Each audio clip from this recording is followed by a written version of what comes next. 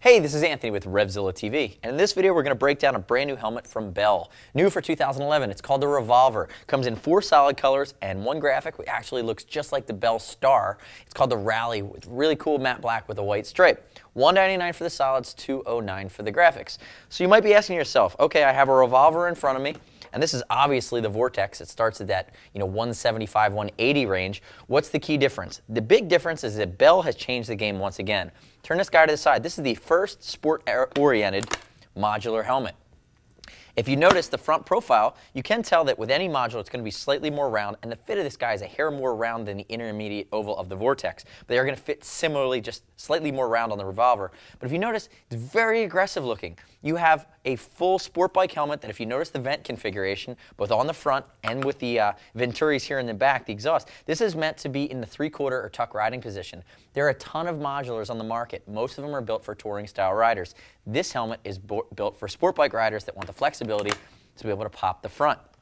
So as I showed you here, it's a locking mechanism. You have an aluminum hinge and then you have a single button on the front. Notice on the front of this guy, if I put the Vortex right next to it as well, you're going to be able to see it's slightly different. This has a longer chin bar that goes down, and it's a slightly different profile. You still have a single or two position vent that's built in there. The nice part, though, is that with this aluminum strong locking mechanism, it's going to add a slight amount of weight, but it's going to function really, really well. The beauty of how they've really designed this, though, when you think about a helmet at this price, and one of the big things right now that we're seeing from Bell is that people are gravitating towards their, their uh, transitions lens technology. All of the Bell helmets out right now, except for the Arrow, so you have the Vortex, the Revolver, and the Star, as well as the RS1, all take the same shield. It's going to be the Bell Shield that comes in different tints, and it comes in that photochromic option, which tints when the sunlight hits it. It's an awesome feature. I have it on my Star. I use it all the time. It takes the place of having to carry a backpack for an extra shield or having multiple shields. The shield change mechanism on this guy is going to be just as easy as it is on all the other Bell helmets. It's a single pop right here.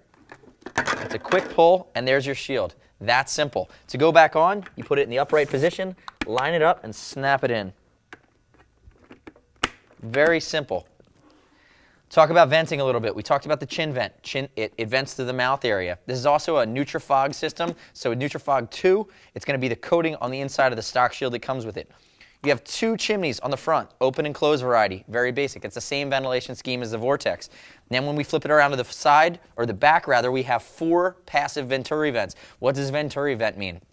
Means when you have a sphere going through the air at high speed, you create a vacuum behind the sphere. If you've ever been riding in the tuck on your bike, you notice the, it, you almost wants to pull your head back this way. That's the vacuum, the area of low pressure behind your head. So ultimately what happens is any warm air in the helmet towards the back of your head, it's going to be sucking air through this. So you have air that enters through the front and then a vacuum behind. So air is going to be moving to this area of low pressure, always goes from high to low, and with it, it's going to take heat, it's going to take sweat, it's going to take perspiration, it's going to keep you more cool and keep you more comfortable. So we have two big chimneys at the top, and then we have two baby winglets that kind of go down behind your ear um, on this way as well. And notice we have a diffuser along the back here for aerodynamics. Again, this is a very this is a sport helmet. It's not sport inspired. This is a modular that's meant to be worn in spirited um, street riding conditions. Now, being that it is modular, it's not Snell, it's not ECE, it's basic DOT. That's just that's, that comes with the territory for most modular helmets. It's very, very difficult to make a, uh, a higher rated uh, uh, modular helmet. And if I open this guy up, let's, let's move to the guts here. I want to show you another key feature. And I'm going to start right here with this tab. This wheel is basically, this is going to be an internal sun visor feature. pull this guy up and show you this. And the nice part about what Bell's done here is this is something that we've seen Scorpion do it, we've seen HJC do it. It's something that, you know, it's definitely been around for a few years, but what Bell's done is they've improved upon it. So you have this wheel mechanism, right? And at each side, both open or closed, there's a tension snap. Some guys will have a thumb flip up here that'll be on the side towards the uh, side of the shield. Other guys will have a slider down here. The, the thumb flips and the sliders have a tendency to move while you're riding. This is going to give you a good shot to whether you're open or whether you're closed, keeping it in the right position. So now I've showed you that, let's move into the guts. Everything's washable, removable, quick wicking, so it's going to pull sweat away from you. Let's pull cheek pads here and give you an idea. Got the Magnefusion tensioner system here, so it's a double D-ring, and then the magnet keeps it in place. And then you're going to notice, so basic cheek pads, cool mesh, and you notice this mesh. This mesh is light mesh like that, so that it actually goes over. If you can come in here tightly, see if I can get you a good view of it, be able to see there's a cutout. That cutout's for a speaker system.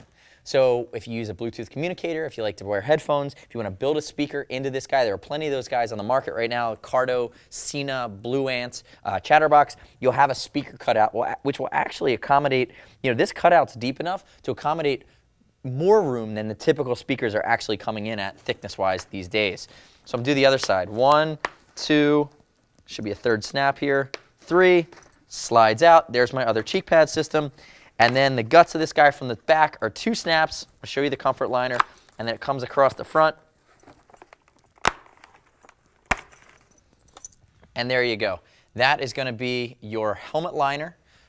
Notice it's areas of with mesh and areas that are cut out for ventilation and then it's going to be wicking. So I've said, I say this in a lot of our videos, but to be able to pull it apart that easily, hit a rest stop, run it under some water, leave it in the sun for 10 minutes, and you've instantly taken out all the sweat on your helmet and you're back to fresh style riding. And then if we go to the inside here, you can see the comfort or the EPS, and you can see these big 10 millimeter vent holes, and you can also see where the exhausts go out of the helmet. So if you have any questions about the, the Bell Revolver, new helmet, it's, it's different than anything we have at RevZilla.com. Shoot us a line. See us at RevZilla.com or 877-792-9455. Like I said, four colors, including a matte, as well as the Rally, which has the cool racing stripe on it.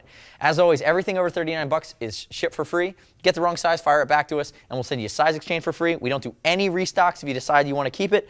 100% back to your card, no problem with us. Whether it's a current model or if it's a closeout. That's a new policy from us for this year. And as always, anything over $100 earns Teamzilla Cash to be applied to your next order. It's our way of keeping you, um, keeping you saving money in the long term by buying your gear from us. Thanks for watching RevZilla TV today. Again, this is the Bell Revolver Helmet, new for 2011, available at RevZilla.com slash Bell-Helmets. I'm Anthony. We'll see you next time.